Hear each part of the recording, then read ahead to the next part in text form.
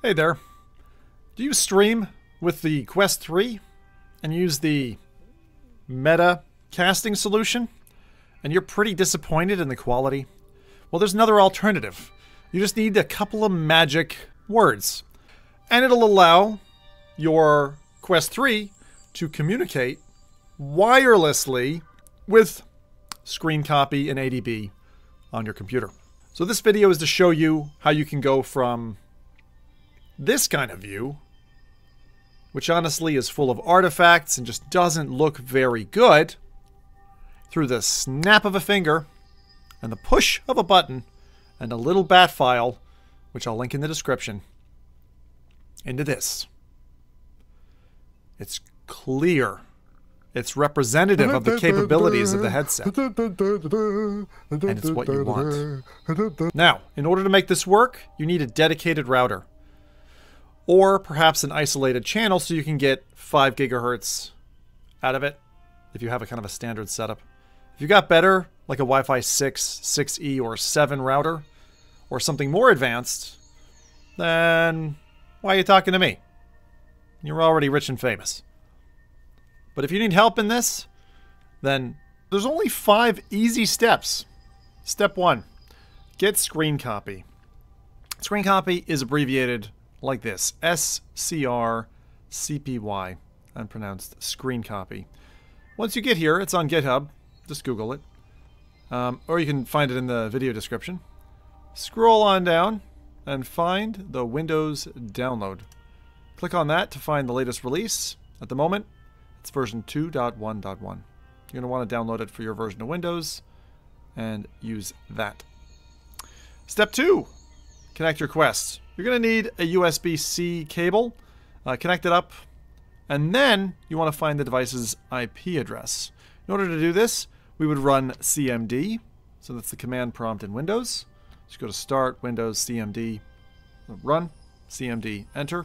You'll get something like this.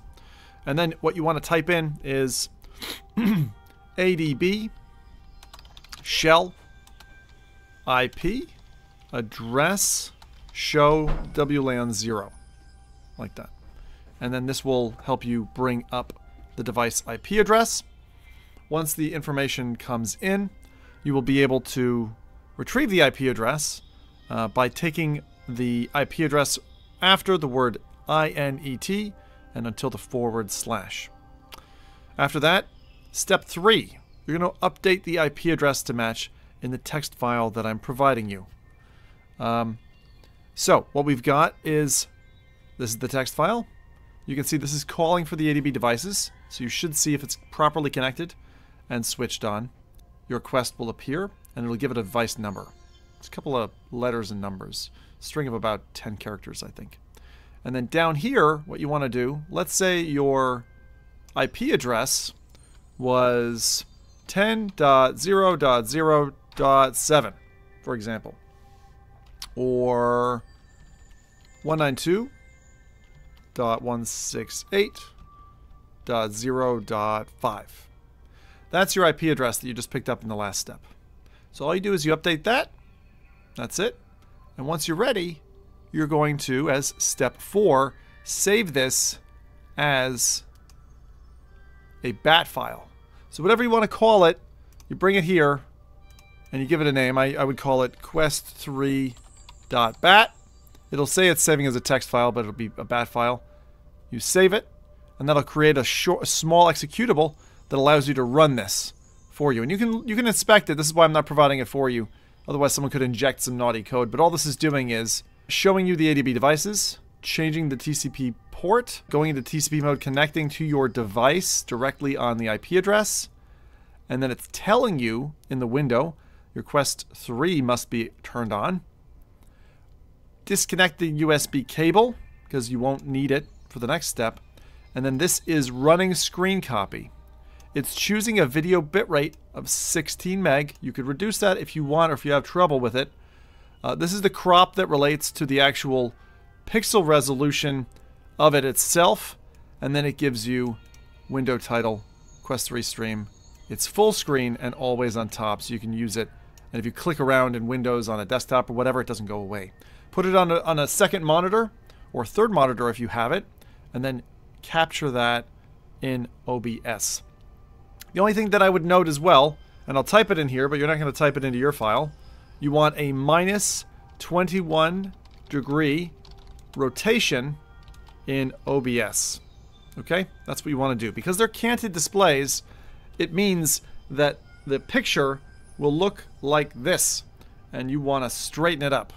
So to straighten it up, you apply a transform of a negative 21 degree rotation back, and you'll end up with, with a perfect image, high quality, wireless stream from Quest 3 that you can use for your stream or video.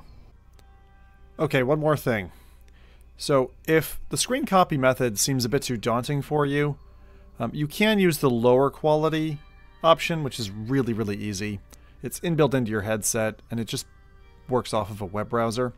So if you go to oculus.com forward slash casting, which is a link that in future may change to a meta link, at the moment it's oculus.com slash casting because Oculus was the previous name prior to meta. But essentially in the headset, you go in, you press the meta button, which is shown here in the instructions as the Oculus button.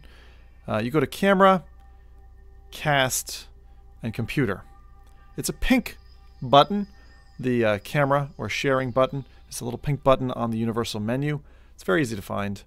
Um, and, and, and then you just start casting the computer. And this website, if you're logged into it, will automatically refresh and update and start showing you your live cast. And then you have options for widescreen mode, volume setting, and full screen, uh, which works well for capture. So that's the, the kind of quick and dirty mode. Screen copy is way higher quality, and I would recommend uh, the screen copy method personally. But if you do that, you don't get audio. So that is one of the advantages of the meta solution. Uh, if you have an external audio solution, so for example, one of the things that I have is the Rode Wireless Go, which is this little tiny uh, box that uh, does wireless um, transmission. So it's a transmitter receiver pair, and they're really cute, an adorable little like gum pack style, and it comes with a microphone, right? And then it's got a transmitter that you can measure, you can monitor levels and stuff on. But the point of that is, you can get a um, just an audio cable that will go male to male from your headset to one of these. And then on the other side, you go from one of these into your computer to the line in to capture the audio and then share it with, again, your stream um, or, for example, on a video.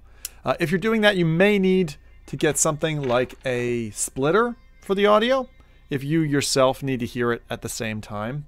Uh, that's what I do. So that's one method if you're using the more advanced version of casting uh, for an image with screen copy capture. Hope this helps you. If you liked it, share it with grandma. Zim out.